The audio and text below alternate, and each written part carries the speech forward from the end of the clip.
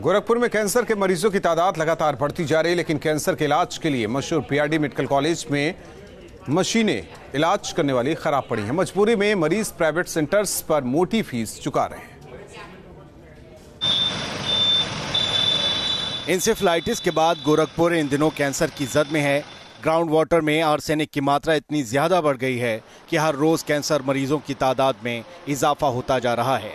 गोरखपुर के बीआरडी अस्पताल में ही अकेले कैंसर के तकरीबन 5000 मरीज़ हर साल इलाज के लिए आते हैं।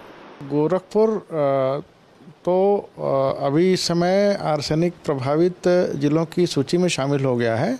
जहाँ पर भी आर्सेनिक की मात्रा अनुमन्य स्तर से अधिक है, वहाँ पर आर्सेनिक रिमूवल यूनिट लगाई जाए ताकि ये सुनिश्चित हो सके कि जो उपभोक्ता को जन्म मिल रहा है, वो आर्सेनिक मुक्त है। गोरखपुर का बीआरडी मेडिकल कॉलेज कैंसर रोगियों के इलाज के लिए मशहूर है, लेकिन यहाँ पिछले तीन साल से ब्रैकीथेरेपी की मशीन और डेढ़ साल से थ्री डी मशीन के साथ ही एक्सरे मशीन बंद पड़ी है।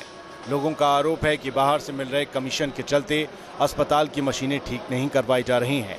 हालाँकि अस्पताल प्रशासन ऐसे मरीजों के दूसरे अस्पतालों में जाने की दूसरी वजह बताता है। प्राइवेट जो कैंसर यूनिट है, ये हमारे मरीज़ जो यहाँ पैंतीस रुपया में होता, वो बाहर जाके पाँच हज़ार रुपये जाँचें होती हैं तो वो लोग प्राइवेट में जाते हैं तो इनको कमीशन देते हैं। उस कमीशन के चक्कर में ये नहीं चाहते हैं कि हमारी ये गवर्नमेंट वाली रेडियोथेरेपी, ब्रेकोथेरेपी मशीन चले। एडवांस स्टेजेस केस ज़्यादा आते हैं, जो पैलेटिव केयर है।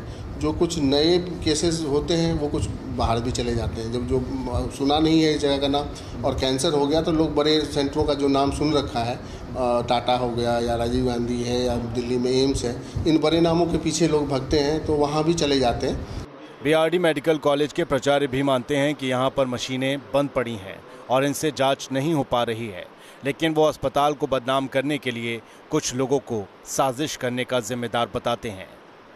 रेडियोथेरेपी जो में जो भी मरीज़ आ रहा है, कैंसर का, हमारी कोबाल्ट यूनिट क्रियाशील है, उससे सिकाई की जाती है और ब्रेकी थेरेपी ऐसे मरीजों का है जहाँ पे टिश्यू के कांटेक्ट में रेडिएशन होता है।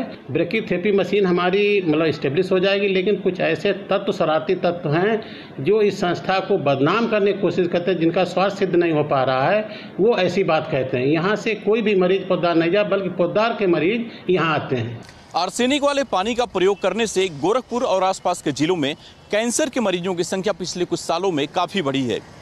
सरकार इस बीमारी को रोकने के लिए जब तक कोई ठोस प्रयास नहीं करती है, तब तक यह साइनाइड जैसा जहर खाने पीने के सामानों के साथ लोगों के शरीर में घुसकर उनको ऐसे ही शिकार बनाता रहेगा। वीडियो जर्नलिस्ट प्रतिगढ़ के साथ दीपक श्रीवास्तव, न्यूज़ स्टेट गोरखपुर।